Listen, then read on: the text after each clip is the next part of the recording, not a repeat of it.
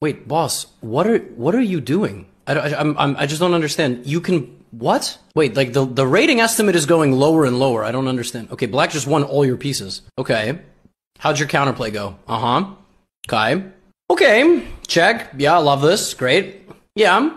It looks scary, but you have no attack. Next move for black should be knight f5. And uh, black needs to activate the pawns, one thing that black is lacking here. King e3. Wow, that walks directly into knight f5. Okay, that's not a ridiculous move. Trading. Okay, solid. Uh-huh. H4. Okay, so yeah. Folks, this is actually a decent strategy. Like, when in doubt, just run your king to the other side of the board. Uh-oh. Uh-oh. Uh-oh. I have a really bad feel.